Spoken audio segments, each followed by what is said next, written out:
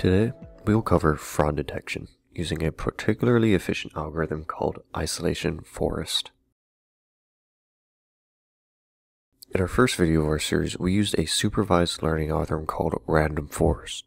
Our new technique is similar to it, but the algorithm we will use today is unsupervised and works particularly well for finding outliers. Here, we can introduce a new technique called isolation forest that offers much better performance over our last method we covered that used dbScan. For training, we first read in our dataset from our Kaggle dataset. Next, if we go inside the pre-processing component, we can see we split the sample data into two where the top port has the normal or good transactions and the bottom has the outliers or suspicious transactions. After splitting, we can then send two-thirds of our normal transactions to the top output port of the component, and the rest of our samples are combined and get sent to the bottom port for our testing set. Now, we train the isolation forest on the top port of our normal transactions, and we can apply it using the predictor node to the testing set. As it is in a H2O data frame, we need to convert it back to a KNIME table, and then we can use the rule engine to classify based on a set mean length.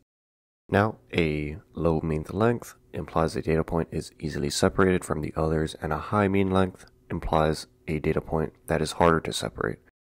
Because of this, and after some trial and error, we use the rule engine to label any data points with less than 6 mean length as a fraud. If we are satisfied with the performance, we can go ahead and save the model so we can use it for our deployment workflow.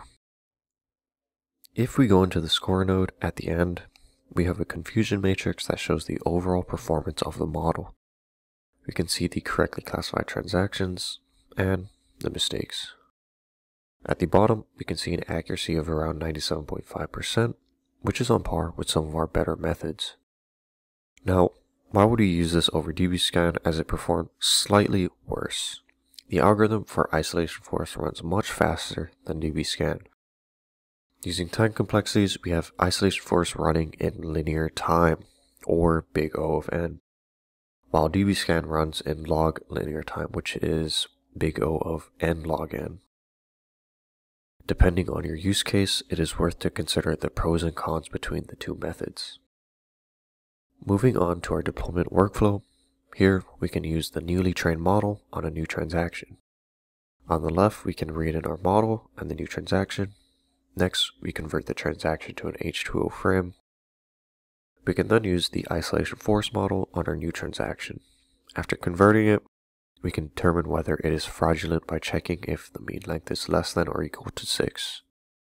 At the end, the send email component will send an email out if a fraudulent transaction is detected. You can download these workflows on the KNIME for Finance space under Audit and Compliance. Feel free to check out our previous techniques used for fraud detection.